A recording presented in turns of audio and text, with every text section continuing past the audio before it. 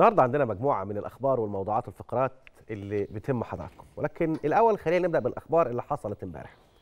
كان أبرزها إرسال سياده الرئيس عبد الفتاح السيسي برقيتي تهنئة إلى كل من خادم الحرمين الشريفين الملك سلمان بن عبد العزيز والأمير محمد بن سلمان ولي العهد السعودي وذلك بمناسبة يوم التأسيس. امبارح كمان عقد رئيس الوزراء الدكتور مصطفى مدبولي مؤتمر صحفي اكد فيه أهمية معالجة قضية الزيادة السكانية وقال إنه هيكون في برامج مالية تحفيزية للسيدات اللي هيلتزموا بإنجاب طفلين فقط.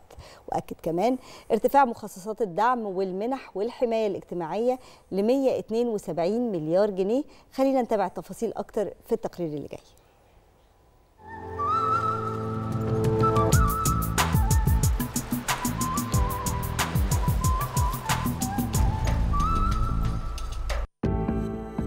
في مجموعة من الأخبار المهمة اللي حصلت امبارح. أبرزها إرسال الرئيس عبد الفتاح السيسي برقيتي تهنئة لكل من خادم الحرمين الشريفين الملك سلمان بن عبد العزيز والأمير محمد بن سلمان ولي العهد السعودي بمناسبة يوم التأسيس. وأعرب الرئيس عن أصدق التهاني القلبية للمملكة العربية السعودية الشقيقة مؤكداً عمق العلاقات التاريخية الوطيدة اللي بتجمع بين البلدين والشعبين المصري والسعودي الشقيقين والحرص الدائم على ترسيخها في جميع المجالات. امبارح عقد الدكتور مصطفى مدبولي رئيس الوزراء مؤتمر صحفي أكد فيه أهمية معالجة قضية الزيادة السكانية لأنها بتمثل قضية حياة أو موت وقال إنه هيكون في برامج مالية تحفيزية للسيدات اللي هيلتزموا بإنجاب طفلين فقط. امبارح قال الدكتور مصطفى مدبولي رئيس الوزراء إن الحكومة مطالبة بتوفير مليون فرصة عمل كل عام وقال كمان إنه من الوارد استمرار الأزمة الروسية الأوكرانية لمدة عامين أو ثلاثة وهو ما دفع الحكومة لدراسة سيناريوهات الأوضاع للاقتصاد العالمي. امبارح كشف دكتور مصطفى مدبولي إن مخصصات الدعم والمنح والحماية الاجتماعية ارتفع ل 172 مليار جنيه مقارنة بالعام الماضي وإنه تم إصدار 3.5 مليون قرار علاج على نفقة الدولة. وقال أيضا إن وحدة دعم الاستثمار بمجلس الوزراء انتهت من حل 80% من مشاكل ومطالب المستثمرين وإن صافي الاستثمار الأجنبي المباشر ارتفع في الربع الأول من العام المالي الحالي ل 94%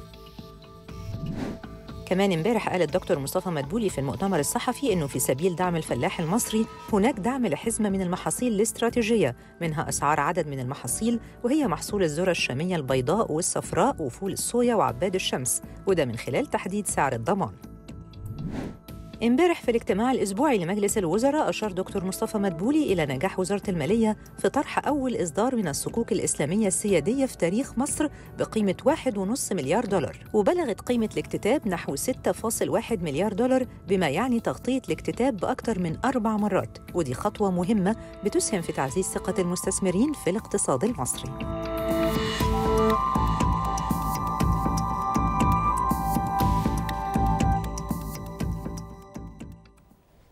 وفي جولة المحافظات معانا النهارده مجموعة من الأحداث والموضوعات المهمة اللي حصلت امبارح ومنها تسليم مشروعات ل 151 مواطن من مستفيدي تكافل وكرامة في القليوبية وكمان الانتهاء من أعمال توصيل خطوط مية الشرب بقرية الحجاز في الإسماعيلية. كمان امبارح أيضا في المحافظات تم الانتهاء من ثلاث قطاعات لمشروعات مبادرة حياة كريمة في محافظة الغربية. كمان تم اعتماد 14 مدرسة من هيئة ضمان الجودة في محافظة كفر الشيخ وأخبار تانية كتير هنعرفها في سياق التقرير القادم.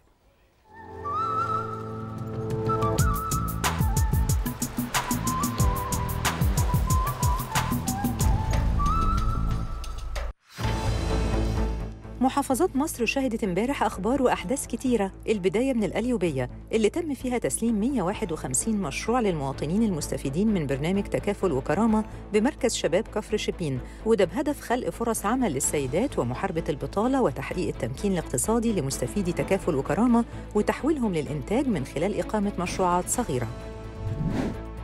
في بورسعيد تم الإعلان عن بدء موسم توريد محصول بنجر السكر خلال 15 مارس المقبل وبيستمر حتى 15 مايو. وأكدت المحافظة أنه جاري التنسيق بين كل الجهات الأمنية والزراعية المختصة لبدء أعمال توريد محصول بنجر السكر. في الإسماعيلية تم الانتهاء من أعمال التوصيل لخط مياه الشرب 3 بوصة وبطول 500 متر بعزبة عبد الرحيم بقرية الحجاز وده ضمن خطة شركة مياه الشرب والصرف الصحي للقضاء على مشاكل ضعف المياه وتحسين خدمة مياه الشرب للمواطنين. في الوادي الجديد أعلنت مديرية الأوقاف عن بدء الاختبارات الشفوية الأولية لمسابقة القرآن الكريم لأبناء المحافظة وفعاليات المسابقة هتستمر لمدة أسبوع على مستوى جميع الإدارات الفرعية التابعة للمديرية. في الغربية بيتواصل العمل في تنفيذ مشروعات المبادرة الرئاسية حياة كريمة داخل 54 قرية و88 تابع بمركز زفتة ووصلت نسبة الإنجاز في مختلف القطاعات ل 85% وتم الانتهاء من ثلاث قطاعات هي البريد نقاط الشرطة والكباري. وجاري الانتهاء من قطاعات التربية والتعليم ومياه الشرب والإسعاف بنسبة تخطت 99% في كفر الشيخ حصلت 14 مدرسة على شهادة الاعتماد من الهيئة القومية لضمان جودة التعليم والاعتماد إضافة ل 18 مدرسة سابقة.